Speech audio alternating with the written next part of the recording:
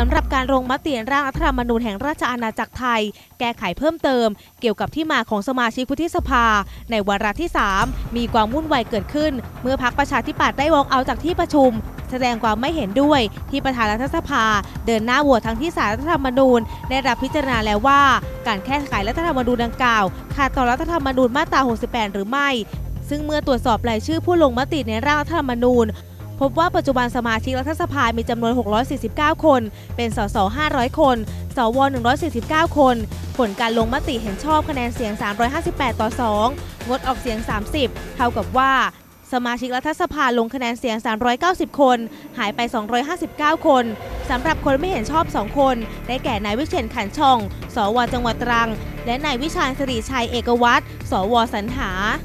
ส่วนเสียงลงมติเห็นชอบ 358 เสียง เป็นพักเพื่อไทย 261 เสียง พักชาติไทยพัฒนา 18 เสียง พักภูมิใจไทยกลุ่มมัชฌิมา 9 เสียง พักชาติพัฒนา 7 เสียง พักพลังชน 7 เสียง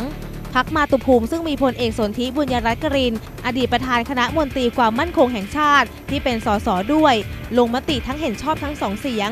พักประชาธิปไตยใหม่1เสียง พักมหาชน1เสียง พักรักประเทศไทย1เสียง และสว 51 เสียง ขณะที่ฝ่ายค้านพักประชาธิปัตย์ 161 คน และสวสรรหาส่วนใหญ่ รวมถึงกลุ่ม 40 สว ไม่รวมขานคะแนนด้วย ส่วนร้อยตำรวจเอกปูรชัยเปี่ยมสมบูรณ์ สสบัญชีรายชื่อพักรัฐสันติ งดออกเสียงพักรักประเทศไทยงดออกเสียง 2 คน ไม่ลงคะแนนเสียง 1 คน เห็นชอบ 1 คนพักคุมใจไทยงดออกเสียง 14 คน ไม่ลงคะแนนเสียง 10 คน ในส่วนของสว ไม่ลงคะแนนเสียงถึง 84 คน ซึ่งเป็นที่น่าสังเกตว่า